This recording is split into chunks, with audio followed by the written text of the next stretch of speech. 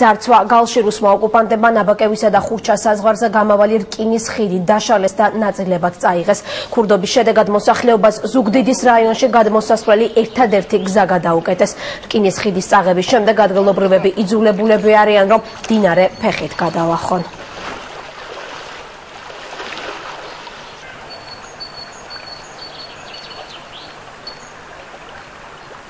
ზაიღეს იგი. ახალებს აწაუგე რუსებმა წაიღეს. რუსებმა წაიღეს. ხო, და იგი ნაბაგებში აქვს. გალი და იგი ყველა აქედან ამიოდა და ესეც მოსკვა და რა გვაქვს, რა დასასწრელი ახლა. მე გადავიდე ფრენზე გავიხარდო და ისე უნდა დავიდე.